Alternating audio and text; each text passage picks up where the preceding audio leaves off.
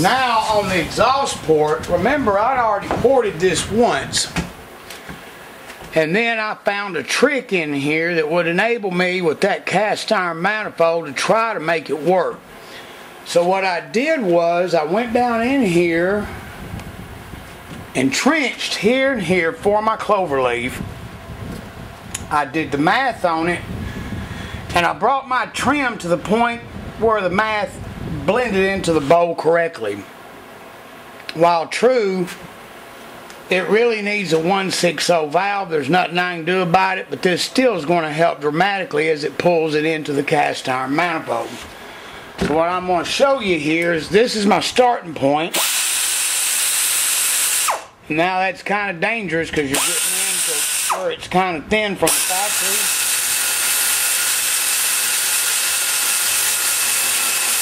It's kind of easy. I'm just connecting the dots, so to speak, from trench to trench.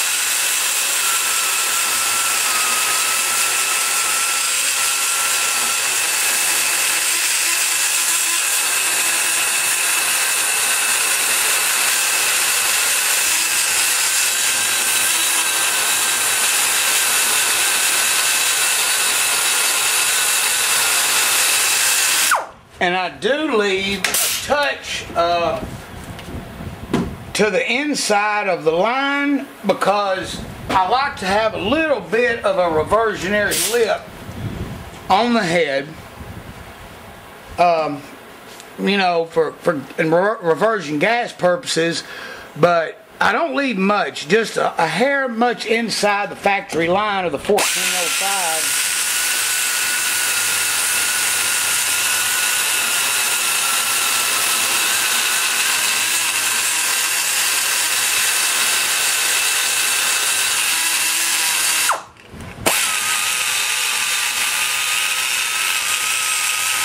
got to grind in the area where the trench is to pull it level. And then on the bottom, I don't really remove no material. I just blend the trench out.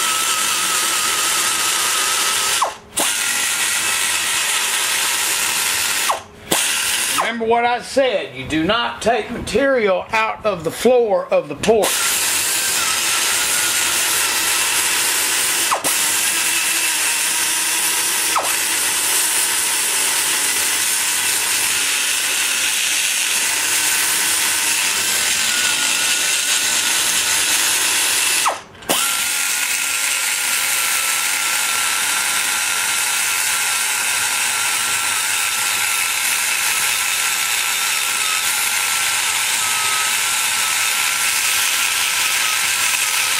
Then of course you take your finger and you feel it. No ruffles, no ridges, it's smooth. And that's it.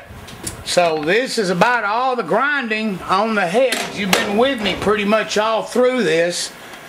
And uh, the only thing I'm going to do now is a little bit of minute touch-up work on it. Um, now that that material's done, I've got the dimensions I want. I have got to CC the port and I have got to pressure check it that I can put it together and we can finish watching the assemble of the Holder boulder motor. I will show you the roof mod.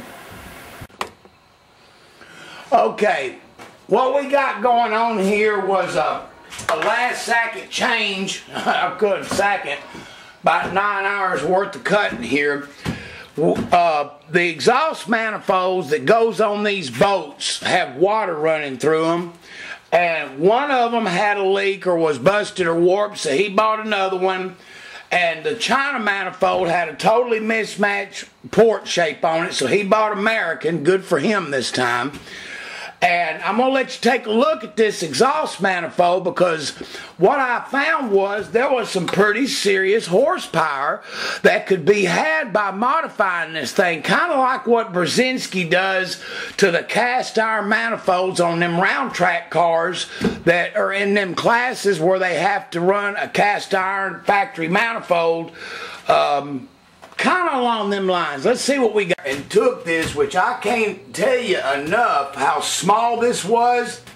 Uh, it had material on the inside on that stock silver piece of crap that they put in the uh, Fel-Pro um, box gasket set. And not to mention how uneven level this was. It, you know, when they cast it, it had, it was totally off up and down and side to side. It had big giant ridges all in it. So what I done was I took, remember that this is upside down. That kind of that kind of messed me a little bit. So the roof would be here. And uh, what I did was I got the bolts and ran through it. And I didn't totally make it 100% of the gasket. I wanted um, a, just a little bit on the inside because as you can see, man, does it get close. Oh yeah, and another thing, I laid a straight edge across it, and this thing out of the damn box was warped almost five thousandths. So I had to take this brand new manifold to the machine shop and surface it to get it straight or else he would have been out there running the boat and it would have started leaking right there made a horrible sound. So I did get that machined up. So now that, like I said, that this is turned this way, I had to come back over here now to the head and I'm going to get you some close-ups and scribe it. So this shape here is really good. Uh, it's almost the same size as the gasket. So we're good there and I had to go back all the way to the wall over two and a half inches come up from underneath, pull the short turns because the center was absolutely uh, the worst part of this uh, little puzzle.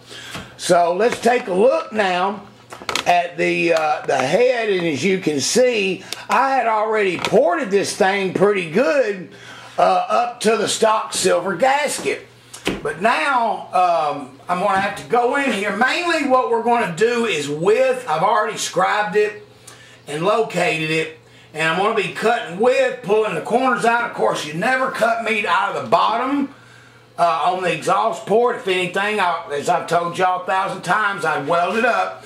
So I'm going to go in here. Now, I'm not going to go all the way to the edge. I'm going to leave about 20 thousandths inside that ring so that this circle is inside this and it's got a little bit of a reversionary lip in it. Okay, so I'm going to go ahead and start cutting it and then I'm going to let you see how I leave that little bitty reversionary lip in there, okay? Let's back off. Okay, in order to make that work, we're sticking with the 1.9, or excuse me, a 150 valve.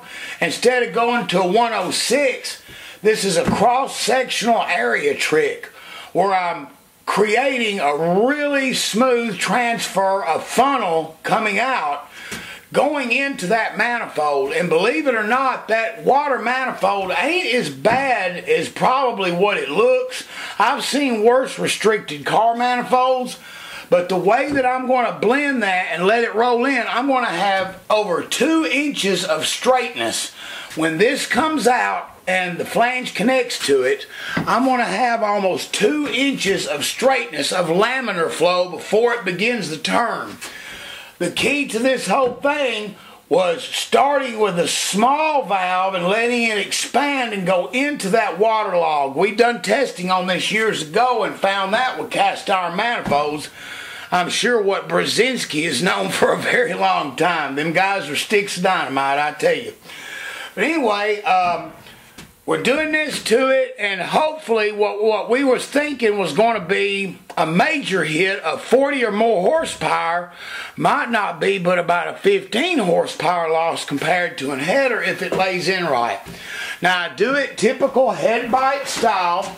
Only this time, since the porting and the bowl and roof and all that's done is paid, I'm only going two inches back to start my I will say this.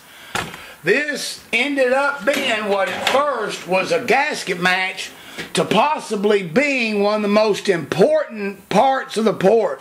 And it wasn't figured out of the porting. It wasn't figured out to the end because Holder Boulder had one American manifold and one China manifold, and it caused me to take a second look at the shape and design to realize that we can take this and turn this into something good instead of having it a negative disadvantage.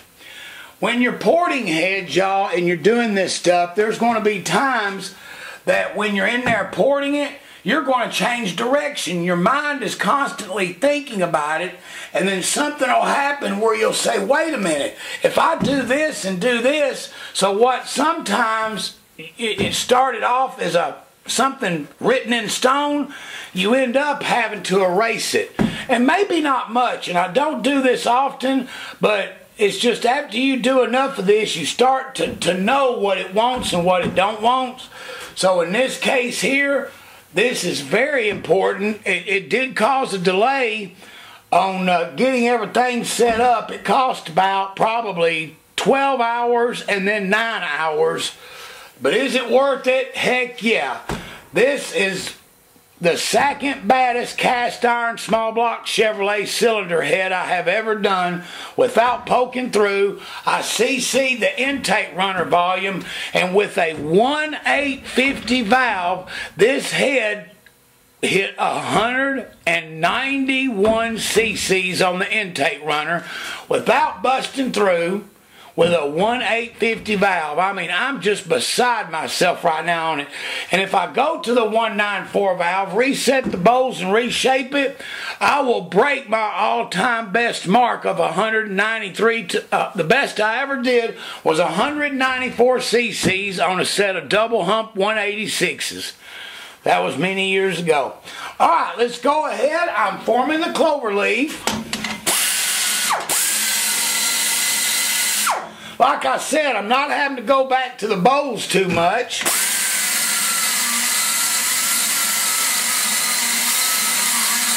Now one thing I will tell you, this head is very thin, so don't go in there willy-nilly digging a trench like you've seen me do. I am trenching it, but I'm leaving a lot of radius. Look at what I'm trenching with. See, I'm doing this instead of the finger because if I try to use the finger I'm really scared I'm going to bust through that port and the exhaust needs at least 120 thousandths is the thinnest that I like to take the wall thicknesses to. Alright, I'm going to continue the mild trenching, turning them around, knock that out. Then we got to finish what little bit left is on the intake port to complete Holder Boulder 305 601.